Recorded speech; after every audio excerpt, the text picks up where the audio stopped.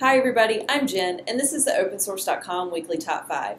Every week I check out the stats and I listen to the chatter and I see which articles have been doing the best on the site. So here are our top 5. At number 5, Top 10 FOSS Legal Developments of 2014. Mark Radcliffe shares with us again this year the legal issues that continue the trend of increasing importance for the FOSS community.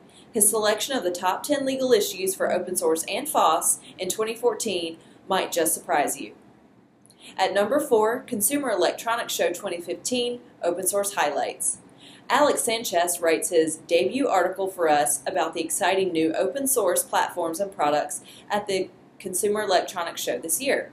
He tells us there were many to choose from, but only five made it into his roundup. Go see which ones. At number three, what is your favorite Linux distribution? The OpenSource.com team published one of its best poll questions again this year because it's fun to hear how preferences change from year to year.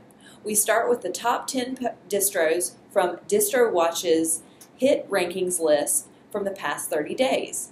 Then we let our readers tell us what they think.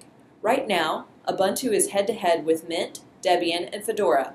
We'd love for you to add your vote into the mix, so head over to the homepage and vote on our latest poll.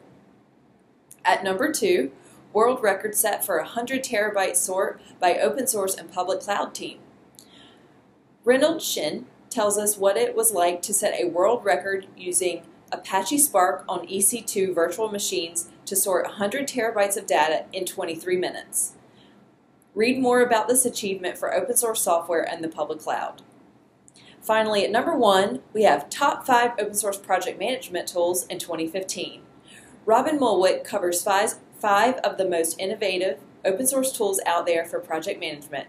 He also gives an update on the five tools he covered last year and where they are today. Could these tools help you better operate or complete the tasks for a project you're working on? Hope to see you over at the site. Thanks for listening, and we'll see you next week.